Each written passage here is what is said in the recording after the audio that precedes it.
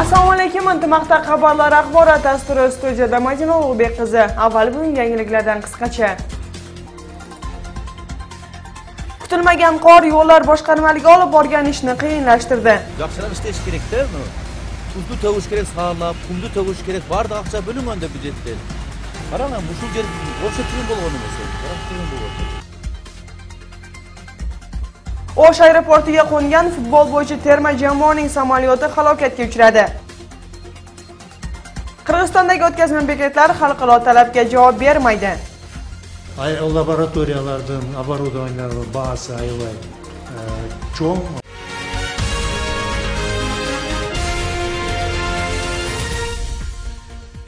ob havoning keskin o'zgarishi o'sh shahar yo'llar boshqarmaligining ishini tanqid qilishga sabab bo'ldi. Haydovchilar ko'chalarning tozalanmaganligi tuz sepilmaganligining oqibatida tirbandliklar yuzaga kelganligini aytishadi. Tegishli xizmatlar o'z ishini vaqtida amalga oshirmaganligiga qo'shimcha yo'l xavfsizlik nazorati xizmati xodimlari ham o'z ishini vaqtida boshlamaganligini haydovchilar qo'shimcha qilishadi. Kutilmagan qor va bunga tayyor bo'lmagan aholi haqida navbatdagi lavhada. Kutilmagan qorning yog'ishi yo'llar boshqarmaligi olib borgan ishlarni qanday ekanligini ko'rsatganday. Chunki ko'chalardagi qorlar tozalanmagan va tuz sepilmagan shu sabab yo'llarda tirbandliklar yuzaga kelib tegishli tarmoqlar amalga oshirgan ishlari haydovchilarning tanqidiga duch keldi.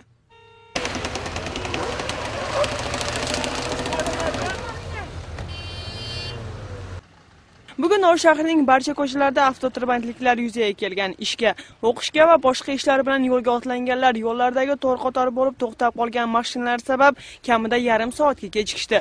Shu sabab haydovchilar tegishli xizmat vakillariga noroziliklarini aytishadi. Жолго мындай шагылып багып төгүп кызгап койсо элдер ишке кечикпей бармак да yaxshilab ishlash kerakda uni. Tuzli tovush kerak sağlab qumli tovush kerak barda ақша бөлінгенде бюджеттен qarang shu yer o'sha tiyin bo'lgan emas biroq tiyin bo'lyapti haydovchilarning noroziligiga sabab bo'lgan yo'llar boshqarmaligining rahbari nima sababdan vaqtida tuz sepish qorlarni tozalash ishlari olib borilmaganligi haqida izoh berishdan bosh tortdi. O'z vazifasini vaqtida bajarmaganlar qatoriga yo'l xavfsizlik nazorat xizmati xodimlari ham kirdi.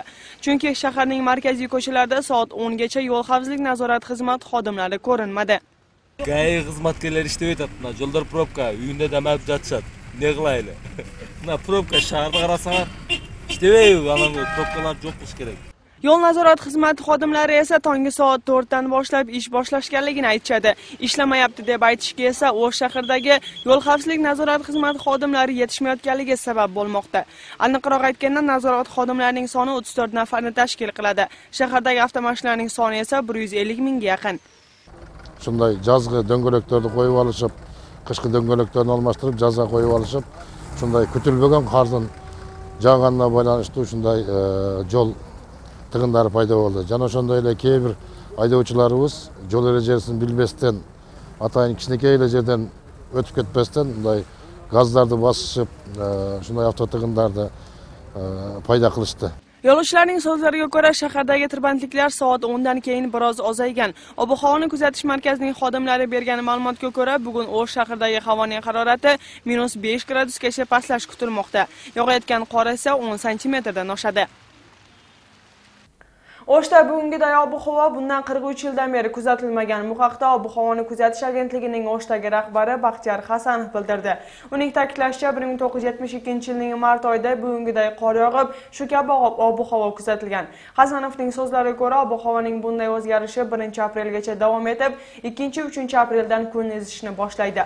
Bunday ob-havodan gullagan daraxtlar jabrlanishi mumkin. ближайшие 3-4 дня э, ожидается төрт күн аралыгында суук аба ырайы сакталат. экинчи үчүнчү апрелден күн акырындап жылый баштайт бул эми биздин тоолуу өлкө үчүн жаңылык деле эмес. Эки миң он экинчи жылдын он тогузунчу жыйырма экинчи мартында калыңдыгы жыйырма сантиметрге жеткен кар жааган бүгүн ош шаарында кар калыңдыгы он сантиметрге жетти. Э, наша республика высокогорная республика это ob havoning keskin o'zgarishining natijasida bugun o'sh xalqaro aeroportiga futbol bo'yicha qirg'izistonning milliy terma jamoasining samolyoti qo'ngandan keyin to'xtay olmay belgilangan yerdan chiqib ketgan. Baxtga yarasha halokatdan hech kim jabrlanmagan. So'nggi ma'lumotlarga ko'ra o'sh aeroportida ro'yxatga olingan mazkur voqea bo'yicha komissiya tergov ishlarini olib boradi. Bu haqda fuqarolik aviatsiya departamentining rahbari erkin isaqov bildirdi. Eslatib o'tsak samolyot bugun to'qqizda o'shga kelib qo'ngan. Ob havoning o'zgarganligi va uchish maydonining bo'lganligi sabab ekipaj a'zolari samolyotni to'xtata olmay qolishgan. Shuning oqibatida samolyot yo'ldan chiqib ketgan. Hozirgi vaqtda komissiya ish olib bormoqda. Bir hafta ichida ular voqeaning kelib chiqish sabablarini aniqlashadi. Agar tergov ishlari vaqtida voqea kelib chiqishiga qo'nish yo'lining tozalamaganligi sabab bo'lsa unda aeroportning rahbariyati javobgarlikka tortiladi deydi rahbar. Eslatib o'tsak ertaga soat 16:00 da o'shning markaziy stadionida qirg'iziston va afg'oniston terma jamoalari do'stlik uchrashuvini o'tkazishadi.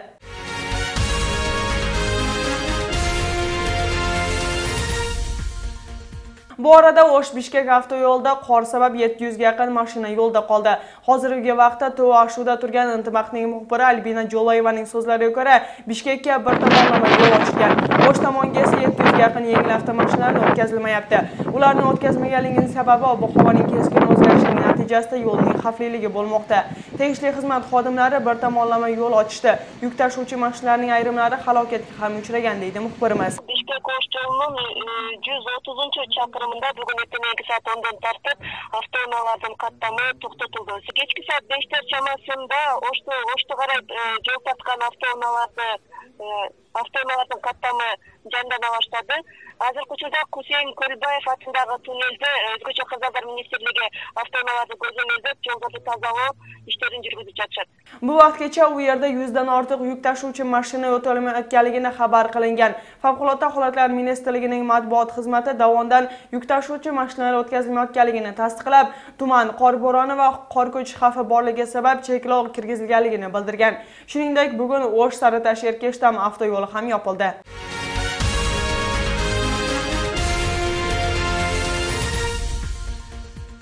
O'sh shahriga issiqlik qayta berila boshladi. Bugun oblast va shahar tug'ruqxonasiga issiqlik to'liq berildi. Bu haqda shahar meriyasida xabar qilishdi. Ma'lumotga ko'ra, shahardagi barcha idoralarga va ko'p qavatli uylarga bir hafta davomida issiqlik berish qarori chiqarildi. Issiqlik bilan ta'minlash munitsipal idorasining abonentlari issiqlik bilan bugun kechgacha ta'minlanishadi. O'sh shahrining vitse-meri Qutmanali Abdurahmon o'g'lining so'zlariga ko'ra, shahar issiqlik elektr markazida abonentlari uchun 31-martgacha to'liq beriladi. Eslatib o'tsak, 24-mart kuni shaharda issiqlik berish to'xtatilgan edi. ертең менен шаардык штабда чогулуп ушундай чечим кабыл алдык бир жумага алты күнгө мына климаттык метео кызматтын берген маалыматына ылайык кайра жылуулук берүүнү калыбына келтирүү жөнүндөгү буйрукка кол коюлду бүгүнкү күндөн баштап бүгүндөн анан алты күн мындан кийин бир жума аралыгында жылуулук берүү калыбына келтирилет Ob-havoning o'zgarib, qorning yog'ishi Botgan hududining ekin dalalariga va o'rikzorlariga salbiy ta'sir yetkazdi. Hozirgi vaqtda oblast hududidagi 10 ming gektarga yaqin o'rikzorlarning deyarli 70% gul ochgan edi. Gullagan o'rik bog'lari joriy yilda oz hosil beradi deyshadi dehqonlar. Shu bilan birga botganliklar yangi ekilgan piyoz va kartoshkani sovuq qoldirmaslik harakatini ko'rishmoqda. Batafsil navbatdagi lavhada. Chiqib qolgan da. O, manda chiqib qolgan bo'lib. Chiqib borimda oldi endi ushi qurib ketadi qanday bo'ladi kim biladi Bo'zadir qishlog'ining yashovchisi Aydarbek Imomnazarov bahor kelgunga qadar pomidor va piyozning ko'chatlarini kichkinagina parnikda o'stiradi. Tuni bilan yoqqan qordan sovuq urdi deydi. Oz qismini bo'lsa ham saqlab qolish uchun parnigini yana ham issiqroq qilib qo'ygan. Qor esepga olingan emasda qor polniy ketib уже bir mart keldi jaz keldi deb ekkanmiz hozir nol shu turishda qolsa kirib ketsa chiqashadi bu endi kech qoldi qayra eksang bu уже unday bo'lib chiqib nima bo'lsa yigirma kun ortga tortadi da turishda chiqashadi Batken eli uchun asosiy daromad bulog'i bo'lgan o'rikni sovuq urdi deydi qishloq yashovchilari. Deyarli 70% gullagan o'rik bog'lari qor ostida qoldi. Agar kechasi ayoz bo'lsa, o'rik gullari to'kilib meva bermasligi mumkin. Daraxtlardan nemesi soğuktan kalat geçiyordu ilgili aksakallar. Bugün günde yani kar yağıp kalsa bir 20-30% mevcut qolishi mumkin agar ayaz bo'lib kun memul oturgan bolsa Batkenda havoning harorati yaxshi kelib, hosil niyatdagiday bo'lsa, mahalliy aholi o'rikdan yiliga 7 milliard so'mga yaqin foyda topadi. Bu yilgiday tabiat injiqliklar ko'rsatsa, foyda bir qanchaga kamayishi ehtimol. Ra'noy Nazarova, Medir Niyazaliyev, Zair Abdukerimov, Intimaq, Batken rayoni.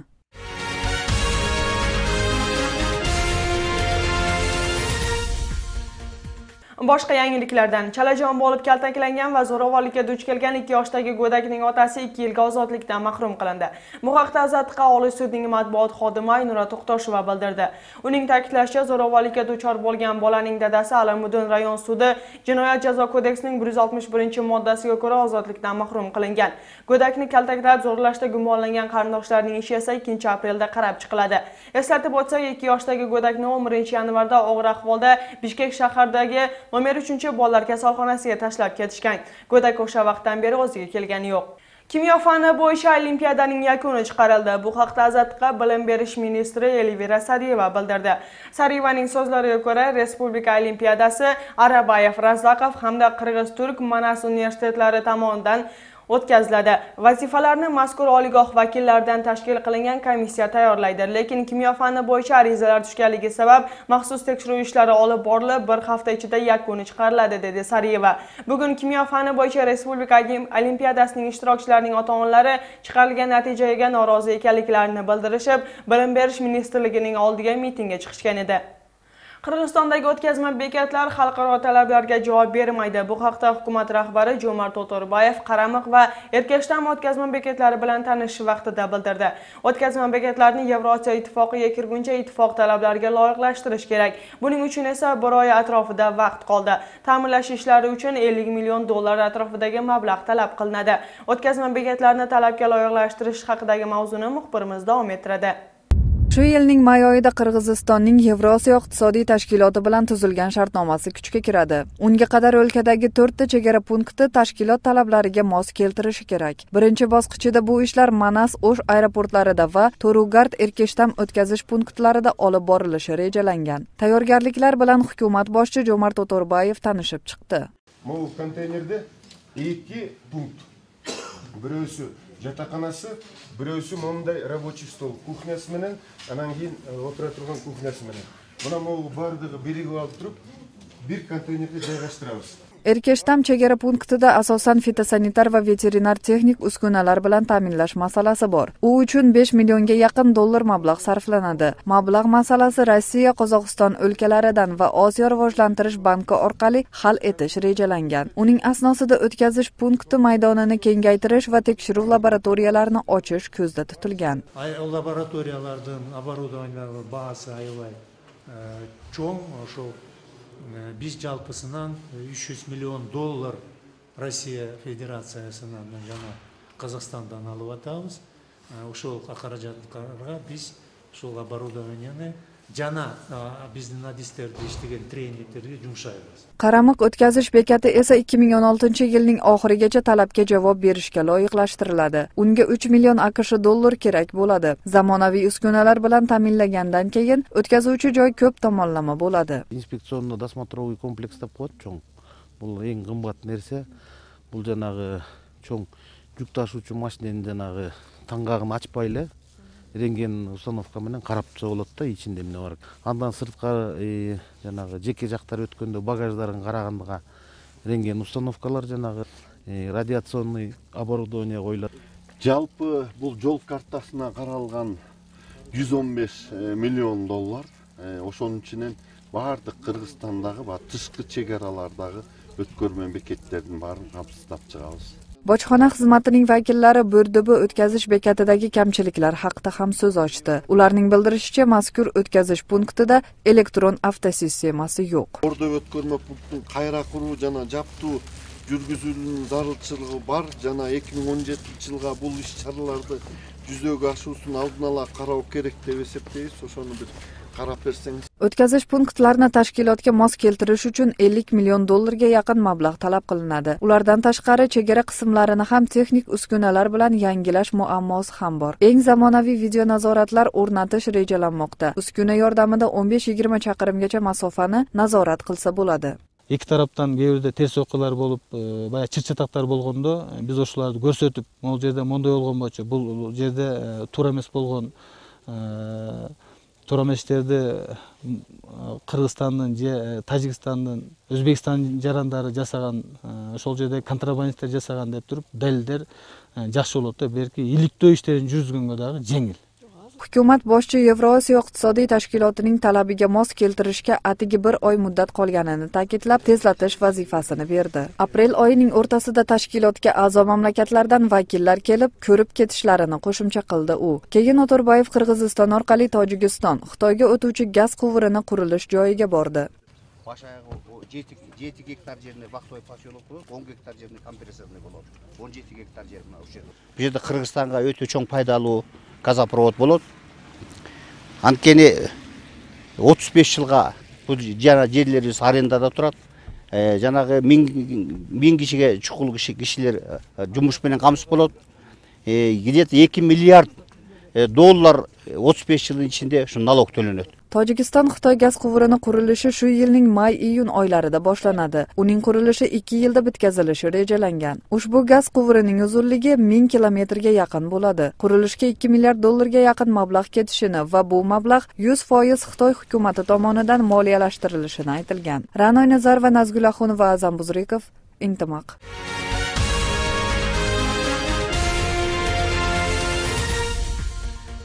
27 mart kuni hukumat rahbari Jomart O'torbayev O'sh shahridagi ko'prikni qurish ishlari bilan tanishdi. O'torbayev birinchi navbatda qurilishning sifatiga e'tibor qaratish kerakligini bildirdi. Hozirgi vaqtda O'sh shahrida qurilayotgan ko'prik Qirg'izistondagi eng yirik loyihalarning biri desam bo'ladi. Shu sabab qurilish ishlarini olib borish vaqtida hech qanday xatoga yo'l berilmay, xalqning mahalliy hukumatning nazoratida bo'lishi kerak. Ko'prik qurilishi yakunlanib foydalanishga topshirilsa, tirbandliklarning soni ozayib, shaharga chiroy qo'shadi deb ishonaman. Mazkur loyiha o'sh shahridagina emas mamlakat miqyosidagi milliy loyiha bo'lib hisoblanadi deb ta'kidladi o'to'rbayev биринчиден мен ыраазычылыкты куруучуларга курушчуларга айтайын деп атам бирок негизинен биринчи орунда бул деген сапат болуш керек ошондуктан мына айтып атат гостехинспекция авторский контроль жана элдик контроль бар деп shahar rahbari aytmamat qadirbayev ko'prik joriy yilning kuz oylarida foydalanishga berilishini va'da qildi. Hozirgi vaqtda uning 3-bosqichiga loyiha tayyorlanmoqda. Loyihada ko'prikning yoniga qo'shimcha yo'llarni qurish ko'kalamzorlashtirish ishlarini qaralgan. Ta'kidlab o'tsak o'sh shahrining alisher navoiy ko'chasidagi ko'prikning qurilishi o'tgan yilning 18 noyabrda boshlangan. Umumiy smeta bahosi 699 million so'm deb baholangan. Qurilish ishlari uchun sarflanuvchi mablag' davlat tomonidan hal etilib rossiyadan kelgan grant hisobidan ajratilgan.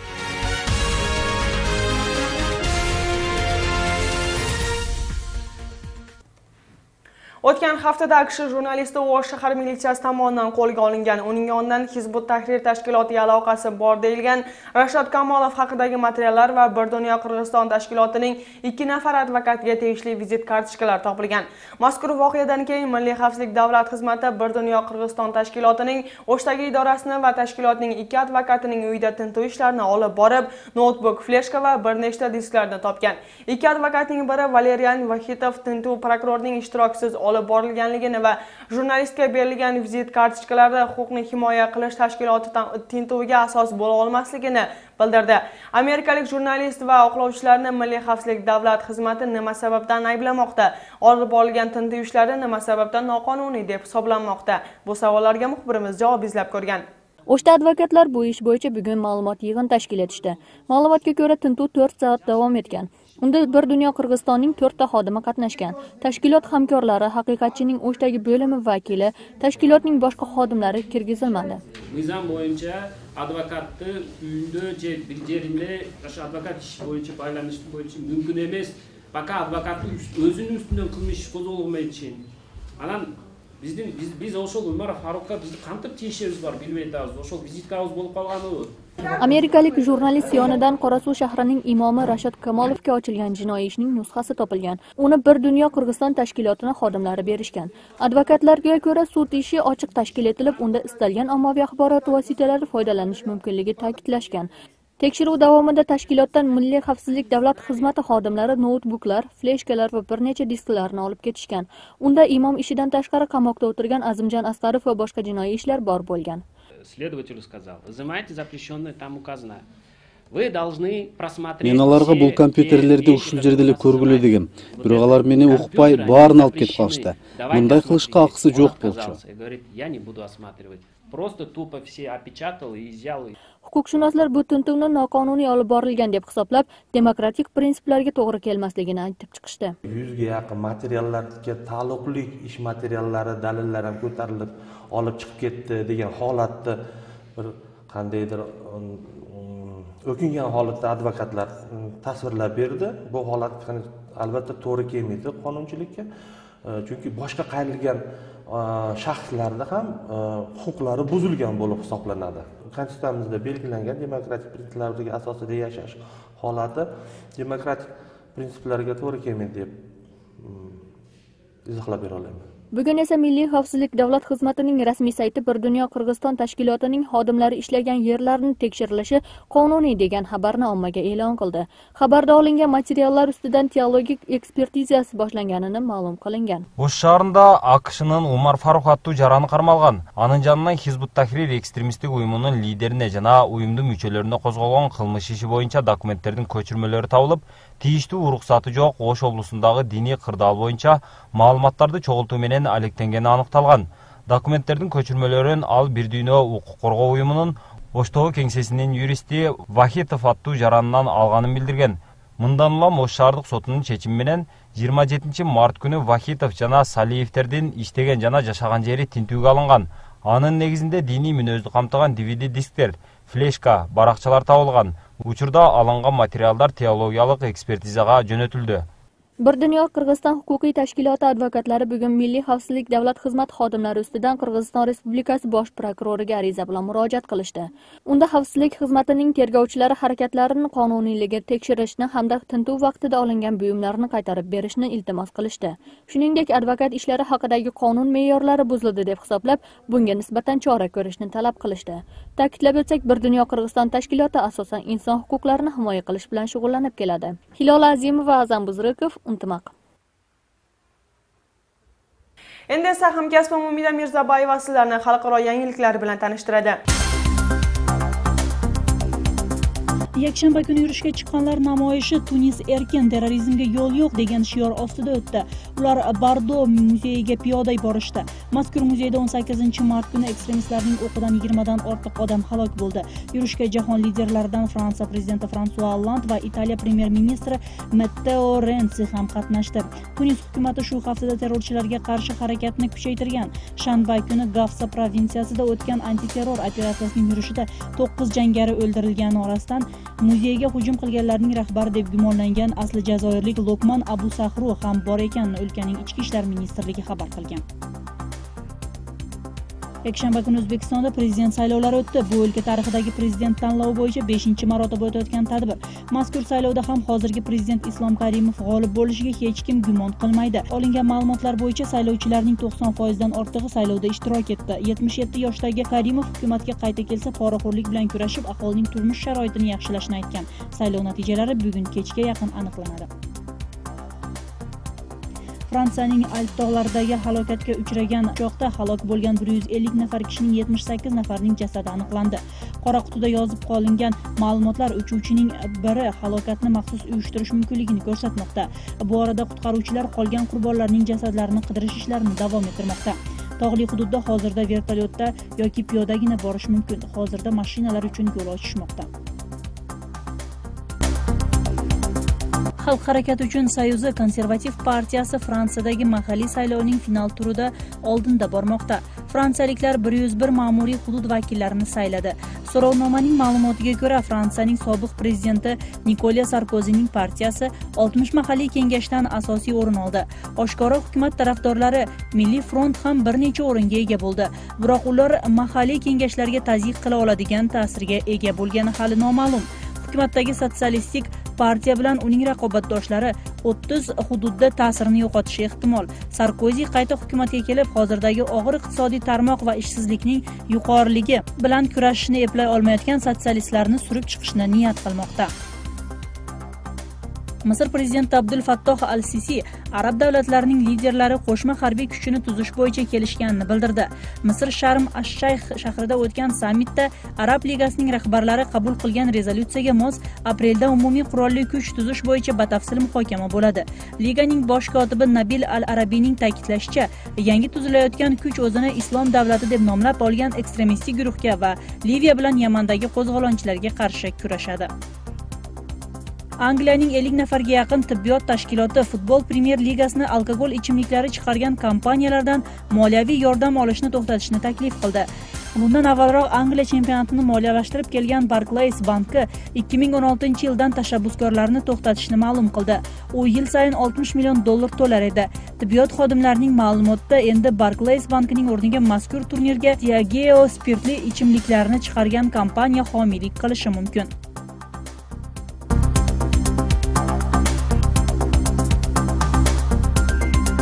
Qurmanjon Datka filmi Rossiyaning Nika kino mukofotiga mustaqil davlatlar va Baltika o'lkalarining eng yaxshi filmi nominatsiyasi uchun nomzod ko'rsatildi. Bu haqda Azatqa Rossiyadagi Qirg'iziston elchiligidan xabar qilishdi. Rossiyaning mashhur Nika mukofoti uchun 23 ta kategoriya bo'yicha 114 ta kinofilmlar ko'rsatilgan. Kino tanlovining g'oliblari Moskvada 31 martga mo'ljallangan marosimda e'lon qilinadi. Marosimga rejissyor Sadiq Chernyas ham ishtirok etadi. Intimaq muxbirlar tomonidan tayyorlangan yangiliklar mana shularni tashkil qildi. Bu va boshqa ma'lumotlar bilan 3w.intimaq.kg saytidan va 106 bar FM to'lqinlarida tranzit axborot dasturidan tanishishingiz mumkin.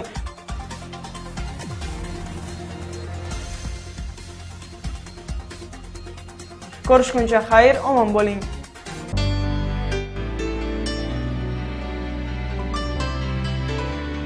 Qirg'iz gidrometdan olingan ma'lumotga ko'ra 31 marta yurtimizning ayrim hududlarida qor yog'ishi kutilmoqda. Havoning harorati batken oblastida kechasi 7-12 daraja kunduzi 5 daraja sovuq bo'lishi kutilmoqda. O'sh oblastida kechasi 3-8 daraja sovuq kunduzi 2 daraja sovuqdan 3 daraja iliqqacha ko'tariladi. Jallobod oblastida ham kechasi 3-8 daraja sovuq kunduzi 2 daraja sovuqdan 3 daraja iliqqacha ko'tarilishi kutilmoqda.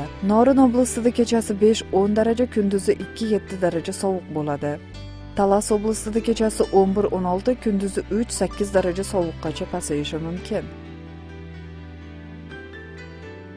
Issiqko'l oblastida kechasi 5-10 daraja kunduzi 5 daraja sovuq bo'lishi kutilmoqda. Chuy oblastida kechasi 10-15 kunduzi 2-7 daraja sovuq bo'ladi. Poytaxtimiz bishkekda ertaga yog'ingarchilik ehtimoli oz havoning harorati kechasi 10-12 kunduzi 2-4 daraja sovuq bo'lishi kutilmoqda. Shahrimizda o'shda 31 mart kuni vaqti vaqti bilan qor yog'ishi mumkin. Havoning harorati kechasi 3-5 daraja sovuq kunduzi 2 daraja iliqqacha ko'tariladi.